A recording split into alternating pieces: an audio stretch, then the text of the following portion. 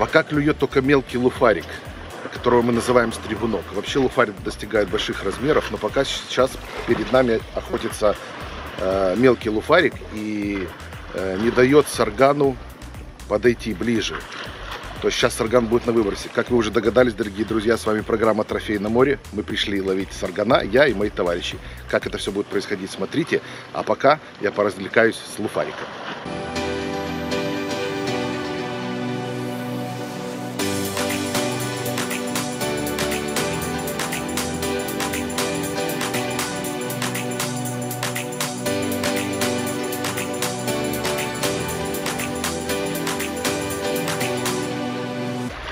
Вот, собственно, это та рыбка, за которой мы пришли сегодня с группой товарищей на рыбалку. Но размер, конечно, не тот, который нужен. Все-таки хочется поймать что-то покрупнее. Но, опять же говорю, мы только начинаем. Еще даже не расцвело. Солнце встанет где-то минут через 15-20. Но вот этот уже любопытный малыш вцепился на мохнатого червяка. Это есть почин Герман, прошу. Это ваша рыба.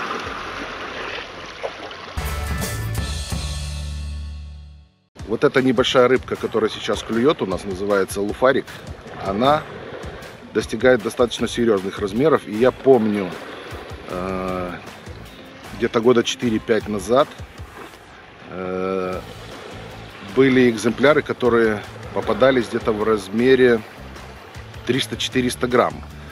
А в Крыму вообще там достигают размеры хорошие этой, э, этого вида рыбы. Так вот, что хочу сказать. Где-то я читал статью, что в далеком 1960, поклевка была, 67 году на побережьях Черного моря прекратилась ловиться скумбрия. А скумбрия была достаточно частый гость. Ее даже ловили на, ее даже ловили на э, самодуры. То есть в те года это было, это, это было абсолютно нормально. Так вот, она есть поклевка саргана. Есть поклевка саргана. Вот он. Это очень маленький сарган. Короче, мне он... Ну, это первый. Но я так постараюсь его аккуратненько освободить. Учитывая, что он взял в клюв, чтобы не обжигать. И отправить его обратно в воду потому что он очень нежный. Ой, ушел как торпеда. Так вот, исчезла из уловов скумбрия. Но в 68 и 69 годах начал преобладать в уловах луфарь. Луфарь достаточно больших, хороших размеров. Потом я еще почитал одну статейку. Оказывается, этот очень сильный и очень мощный хищник, стайный, готов был перекусывать эту же скумбрию пополам. И тогда, когда охотится э, луфарь, можно так сказать, выживших нет из, из поголовья рыб. А он же питается всем. И фериной, и хамсой, и ставридой, и сарганом. Он все, что может скушать, перекусить. И такая же история была и на турецких побережьях, и даже англичане, по-моему, писали, что в те года у них исчезла скумбрия на какой-то э, период времени и преобладал в уловах, промышленных уловах преобладал луфарь. Вот такая вот эта интересная рыба. Но у нас пока ловится мы его называем в Одессе стригунок. Это маленький такой луфарчик. Вот он, чего его называют стригунок, он стрижет самодуры. Те люди, которые ловят в отвес с лодок ставриду, иногда, когда подходит луфарь, они достают э, самодуры, а там крючков уже нету, потому что он перекусывает. У него э, такие острые зубы, что он достаточно толстый флюорокарбон или леску может перекусить. Поэтому, если вы делаете проводку, достаете нет, не то что червяка, даже если нет крючка, не переживайте, это вас посетил луфарик.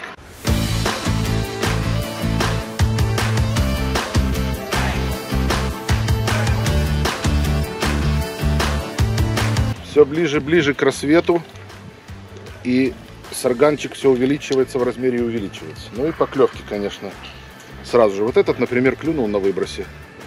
Ух ты, как куда заглотил этого червячка.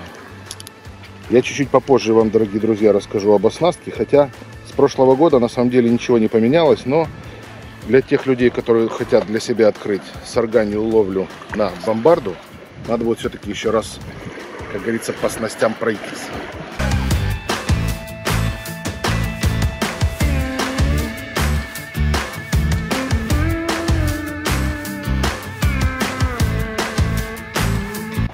Раз. Есть такое расхожее мнение у Геры поклевка, а я расскажу. Некоторые говорят, не, отпускай, не отпускайте саргана любого, который даже это колбаска поинтереснее. Любого саргана, даже которого вы поймали, потому что он не выживает. Он получает ожог. И что вы выпускаете его, что не выпускаете, это как бы можете делать только для крабов какое-то удовольствие, потому что он все равно погибнет. Я все-таки придерживаюсь мнения, если сильно маленький сарган, и он в клювик схватил э, наживку, и его не трогать руками, аккуратно как-то снять, то он выживет. На самом деле я не видел ни одного мертвого саргана на дне, маленького. Хотя э, ребята, которые занимаются спиннингом, пелькеристы, э, они ловят на всякого рода приманки типа пилькера, воблера, блесенок и так далее – Э, они э, иногда даже более травмируют рыбу, когда он засекается где-то за глаз, за спину, чем тот сарган, который клюет э, на мохнатого червяка, аккуратненько в клювик свой засекает крючок.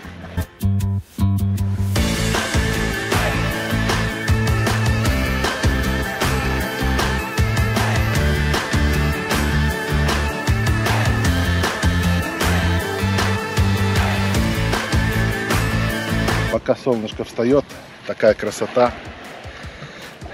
Сейчас первые числа сентября, бархатный сезон. И наконец-то вот есть же плюсы для тех людей, которые живут на побережье. Наконец-то освободился город от туристов. И все пирсы, все э, пляжи практически пустые. Несмотря на то, что сейчас вот еще вода где-то градусов 24. Но, тем не менее, начался учебный год студенты и школьники за партами, их мамы, папы следят за этим процессом. Ну а нам, рыбакам, остается только радоваться тому, что мы можем бросить туда, куда мы хотим бросить оснастку и провести ее там, где мы хотим. Знаете, как бывает? Женщина, куда вы плывете, там же снасти. А что такое, я купаюсь? Вот сейчас этого все меньше и меньше, поэтому это не может не радовать. Теперь пару слов о снастях. Ничего на самом деле не изменилось с прошлого года. Мы в прошлом году снимали, по-моему, с Сашей Безруком снимали такую же программу по ловле саргана на мохнатого червя с помощью длинного удилища и бомбарды. Бомбарда, она же сбирулина поплавок. На самом деле никакой это не поплавок, это придумали итальянцы э, где-то в середине 20 века. С помощью вот этого э, приспособления, они доставляли приманку, которая ничего не весит, далеко. Поэтому это не поплавок, это, скажем, способ доставки легкой приманки подальше э, от берега, возможно сделать более дальний заброс. Потом катушечка, обычная безинерционная катушка, на которой намотан шнур. У меня по классификации PE это 0,6. Длинный, порядка метр двадцать, полтора метра поводок из флюрокарбона.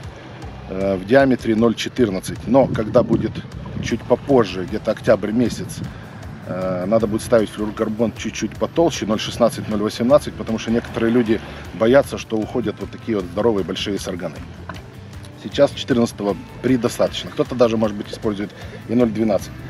Маленький крючочек, как мой сосед говорит, который раньше занимался только речной рыбалкой, глотунчик. Никакой это не глотунчик, это обычный маленький крючок. Вот он был когда-то красного цвета. На него мы насаживаем мохнатого червя. Делаем заброс. Бомбарда у меня тонущая, прозрачная. Они бывают разные. Бывают э, с нулевой плавучестью, бывают плавающие, бывают быстро тонущие. Это кому как нравится. Кто-то приспосабливается к одному типу бомбарды. Я ловлю на тонущие уже вот уже практически там сколько, 5-6 лет, использую только ее. Граммы подбираются, соответственно, по тесту удилища. У меня как раз ровно серединка. У меня удилище до 30 грамм кастинг, поэтому я использую бомбарду двадцатку. Заброса мне хватает. Э, и я не перегружаю удилище. Продолжаем ловить.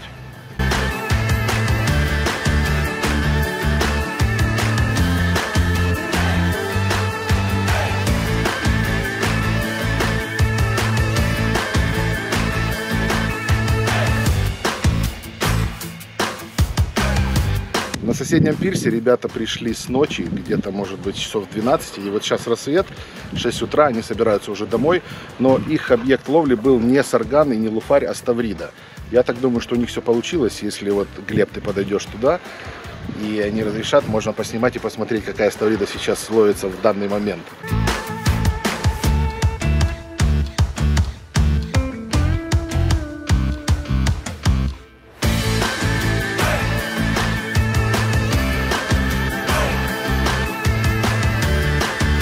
Вот таким вот образом я насаживаю мохнатого червя на крючок.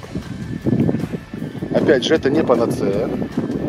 Сколько рыбаков, столько мнений. Кто-то насаживает его чулком, кто-то в половину, кто-то поперек. У меня, как показала практика, вот так вот работает хорошо. За голову его цепляешь. Там самое твердое место у этого нереса. Возле головы, возле его щупалец.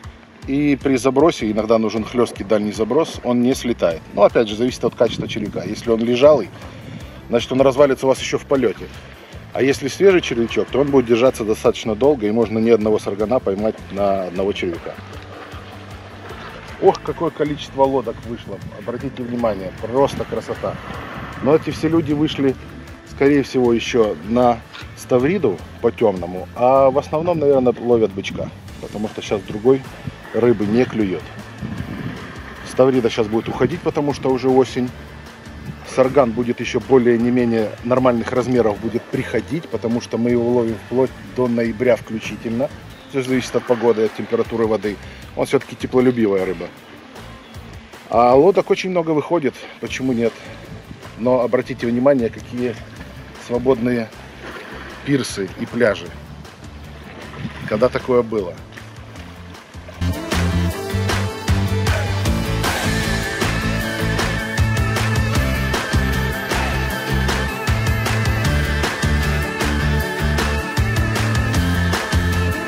Сарган клюет, это не может не радовать.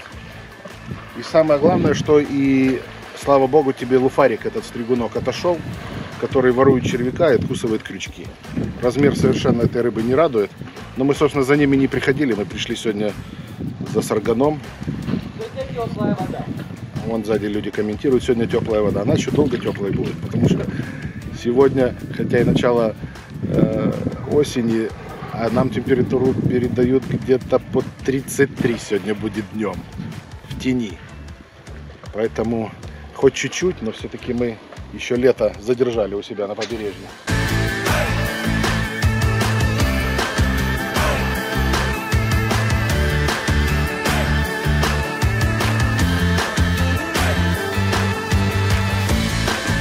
Я решил поменять место лова, пойти чуть на другой пирс, потому что там ребята ловят и сарганчик такой себе размера. И взял с собой какое-то количество червя в запас. Так вот, там штуки 3-4, не больше. Так вот, думаю, остался последний червяк. Если... И, а до этого было 4 поклевки, и, соответственно, сарган 4 червяка украл.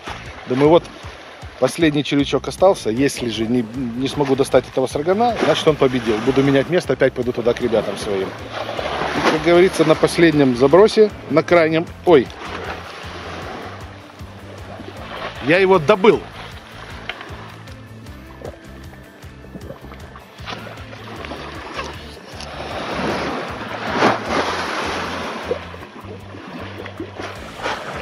Он очень аккуратно взялся, поэтому я его отпущу.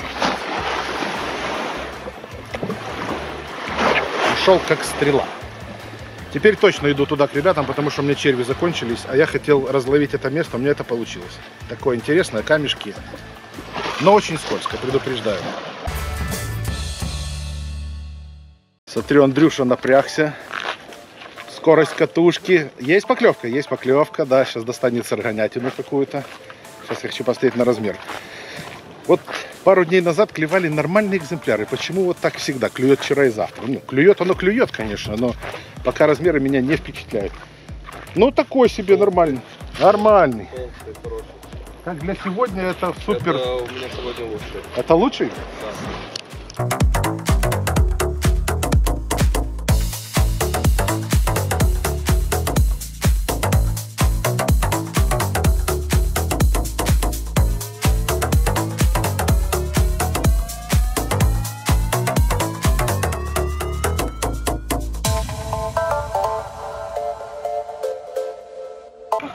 Соседи появились, которые нам помогают ловить саргана. Гавриэла девочка, такой красивый видели. Да? Ох ты, куда ты его? Ой-ой-ой-ой, как же это так? А, вот так. Вот так.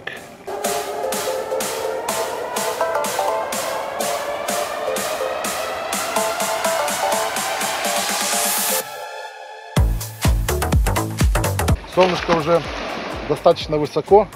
Честно говоря, уже жарко становится. Сарган продолжает клевать, но, к сожалению, размер становится все меньше, меньше, меньше, потому что уже рассветное время прошло. Какое-то количество мы на свою банду половили. Вам это показали. Что хочется отметить. Как я и говорил сегодня утром, все, скорее всего, все сместилось на месяц в связи с тем, что и год высокосный, и погода была, лето было очень жаркое, и до сих пор осталось э, вот начало осени, опять жара, 33 градуса. Я думаю, что трофейного саргана мы еще в этом году с вами половим, отснимем. Э, сейчас в основном преобладает в уловах мелочь и такой мелко-средний. И обязательно вам это покажем. Дорогие друзья, с вами была программа «Трофей на море». Мы в этом году первый раз вышли на разведку на Саргана. Решили попробовать со своими друзьями, с Андреем и с Германом. Все прекрасно получилось, вы видели. Не сидите дома, приходите на рыбалку, ловите такую вкусную, сильную и красивую рыбу, как сарган. С вами была программа «Трофей на море». Пока!